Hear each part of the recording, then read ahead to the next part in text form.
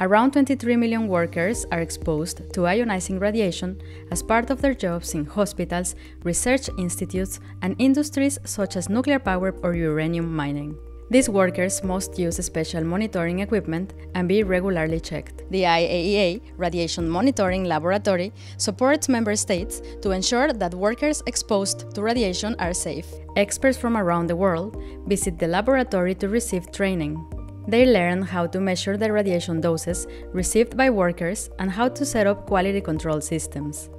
IAEA safeguards inspectors are also monitored in the lab. We receive uh, radiation protection training and personal radiation monitoring equipment before departing on uh, an inspection. If there is any suspected uh, exposure to radiation, we report immediately for radiation checks.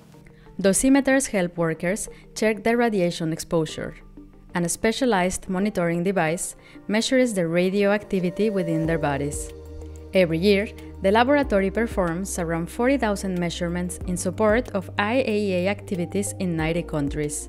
From Vienna, Austria, this is Alejandra Silva reporting for the IAEA.